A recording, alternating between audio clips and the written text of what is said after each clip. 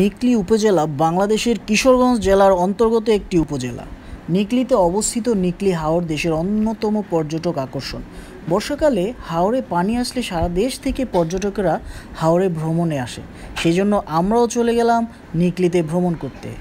আরেকটা বিষয়, এর আয়তন কিন্তু দুইশো চোদ্দ দশমিক চার শূন্য বর্গ কিলোমিটার, যার উত্তরে করিমগঞ্জ উপজেলা এবং মিঠামইন উপজেলা। দক্ষিণে বাজিতপুর উপজেলা পূর্বে অষ্টগ্রাম উপজেলা ও মিঠামইন উপজেলা আর পশ্চিমে কটিয়াদি উপজেলা ও করিমগঞ্জ উপজেলা।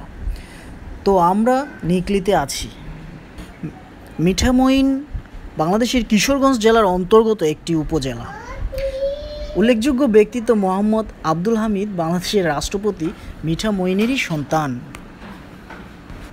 তাহলে তালদিলের পক্ষ থেকে আপনাদের সবাইকে স্বাগতম জানিয়ে শুরু করছি আজকের ভ্রমণ কাহিনী।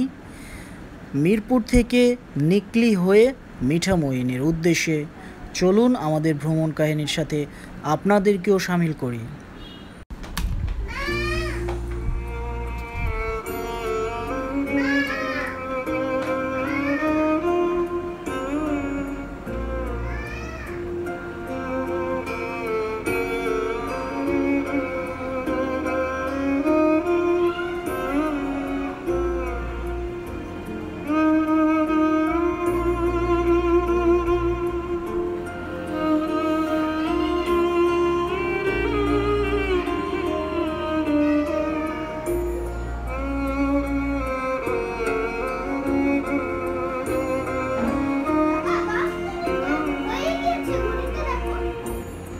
আমাদের। আমরা তো আমরা আপ্যায়ন করি মানে আমাদের কাজ। ঠিক আছে আমরা আমরা কথা যদি আমরা ওই কথা কাজ বলছিলাম।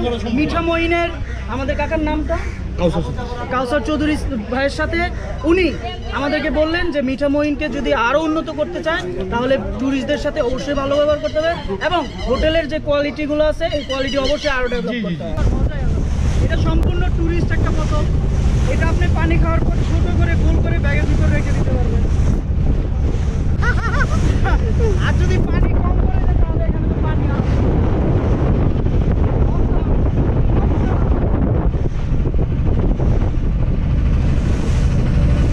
আপনি কি খাচ্ছেন পেয়ারা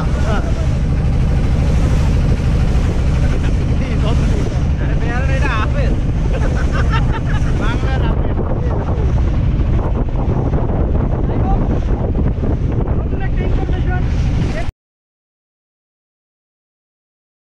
লাইভ চলছে এই নেতা ভাই আরও বড় সিনারি এখানে ডাইরেক্ট গাড়ি এসে বসে ডাইরেক্ট গাড়ি এসে আমরা আসছিলাম কিন্তু নেতা ভাই, একটু